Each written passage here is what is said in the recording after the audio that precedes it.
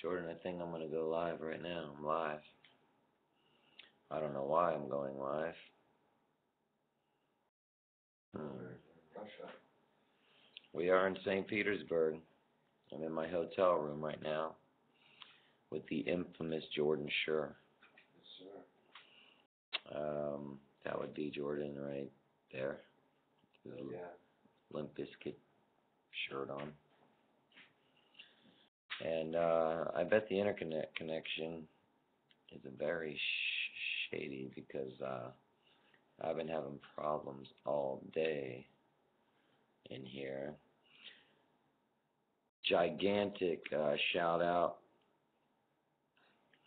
to uh, St. Petersburg, Russia tonight for an unforgettable evening. And um, looks like we'll be getting up bright and early to uh, fly into Moscow and do it again. I'll do it again.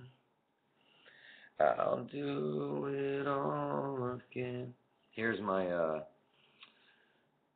uh, vinegar, apple cider, honey, cayenne pepper mix. More vinegar, more cayenne pepper is really good for your throat. Any of you singers out there, in this uh, Limp Bizkit uh, mug here is a one of a kind made by my brother Corey Durst. Tastes like shit. Drinking vinegar is not alright with me. How's that apple, Jordan? Oh, so good. Well, it probably tastes better than what I just drank.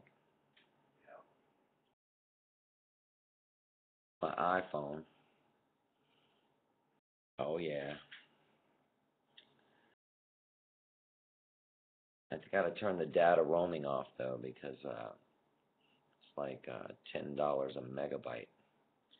Check a few emails, send a couple tweets, a few hundred bucks. Pow, just like that. Supposedly the mosquitoes are really bad here in uh, St. Petersburg. So if you open your window, they give you this thing that you plug into the wall that makes the mosquitoes unhappy. Very interesting. I don't think mosquito mosquitoes are uh, worse here than they are in uh, Winnipeg, Canada. I shot that movie um, Population 436 up there, and there was like more mosquitoes than I'd ever seen in my entire life. There. These here. The ultimate shoe uh, is seeing its day. Um, I like wearing sneakers until they uh, can walk by themselves. oh yeah, for all you people out there that are looking for the Limp Bizkit online merch store that we're about to launch. Here's the windbreaker I wear. And um, I'm going to make that available for the LBF because I'm not sure anybody else would ever wear that but the LBF.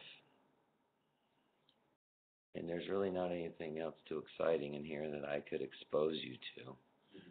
Uh, It might even be really choppy. This kite thing is not really working out for me that well. I might have to switch it up. It's uh kind of choppy and not very good quality. It's a backpack that the EA guys gave me when we had our Limp Bizkit rock band meeting. Um, looks like they're gonna make some Limp Bizkit music available for a rock band. Could be dope. I can't wait to play John's beats on there, but there's like a latency, there's like a delay that doesn't work for me. A lot of musicians I know don't don't like playing it. And uh, those of you who are looking for the new Era caps, I will have uh, my own line of new Era caps available for you, and I don't want to give away what the designs will be but there'll also be very minimal ones like this with just something on the back here that I put. And, uh,